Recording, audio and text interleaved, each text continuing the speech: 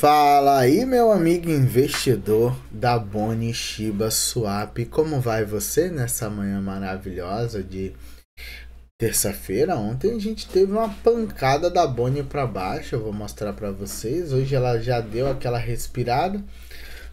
Voltou para os 55 centavos de dólar, ranking 294, 138 milhões de dólares se atente nesse número 4 milhões de volume, muito baixo para uma criptomoeda que tem apenas 249 milhões de supply circulando até seu topo histórico 2.700%.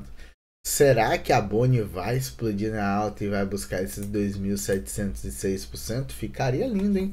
Seria uma valorização pensando aí na Shiba Inu, que é do mesmo ecossistema, melhor do que a da Shiba a curto prazo. Quem sabe ela chega a 150 dólares, já pensou? Aí, aí a valorização seria mais brutal ainda para quem está comprando na região aí dos 50 centavos. Então a gente vai olhar a Boni aqui diretamente da Gate.io. Eu sou Ramaro Criptomoedas. Se você gosta desse tipo de conteúdo, aproveita, deixa o like e torne-se inscrito aqui do canal. A tendência aqui é clara de baixa, tá pessoal? Não tem aí outra explicação para isso, a gente tem um fractal de baixa e tem alvos de baixa aqui também, tá? Chegamos perto do 38 de Fibo, do pivô, a gente deixou um topo mais baixo que o topo anterior, um fundo aqui nessa região, um topo mais baixo do que o topo anterior, um fundo um pouco mais baixo do que o fundo anterior, depois deixou um topo mais baixo do que o anterior e agora está deixando um fundo mais baixo ainda. Então, não tem como negar que a tendência aqui é de baixa, tá? Então a gente tem um semanal com tendência de baixa. Indicadores: MACD e Vortex caindo, estocástico e RSI sobrevendidos. Então a tendência aqui é de baixa. O direcional do pivô do semanal é nos 18 centavos. Como eu falei no vídeo anterior, eu não acredito que ela possa ir buscar os 18 centavos.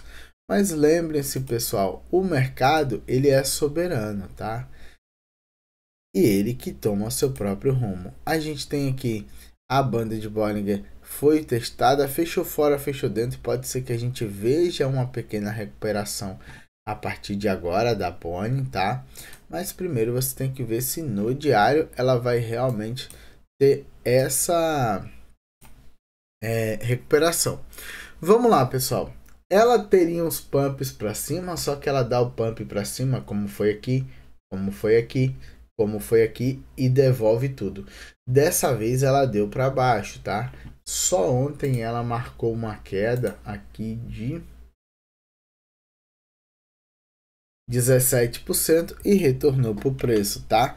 Então, isso me chama atenção. Ela não fazia isso antigamente, começou a fazer.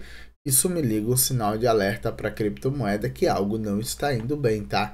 Esse, essas movimentações de pump and dump acontecem quando a criptomoeda está com pouco volume ou muito baixo, o preço é empurrado para manipulação de mercado, é empurrado de um jeito e de outro, tá? Veja, o dia de hoje já foi um dia também de forte alta, para você ter noção, ela foi nos 60 centavos e voltou. É muito mais do que 10% da confusão de ontem e voltou para o mesmo lugar. Então, olha só que coisa interessante. Nós tivemos um preço sendo empurrado para baixo, o preço sendo empurrado para cima e voltou para o mesmo lugar onde estava. Isso aqui é complexo de se operar, tá? Para quem vai levar para longo prazo e acha que é a sua aposta de mercado, então isso aí não interessa, tá? Essa volatilidade alucinada não interessa, o que interessa é o preço futuro. Então a Boni aí tem as suas dificuldades, a tendência do semanal ainda é de baixa, do diário não tem reversão ainda, tá? Eu só veria uma reversão se o preço trabalhasse acima dos 69 centavos.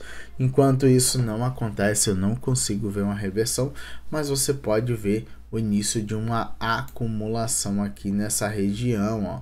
Se ela acumular aqui e segurar um tempo e depois voltar a subir, para mim tá bom demais, tá? Então fica de olho aí na Boni para os próximos dias e semanas. Eu sou o Romaro Criptomoedas. Se você gostou desse conteúdo, aproveita, deixa o like e torne-se inscrito do canal. Lembrando que nada que eu falo aqui é recomendação de compra de venda. Não se esqueça da live hoje às 8h30 da noite. Aquele abraço para vocês, até a próxima.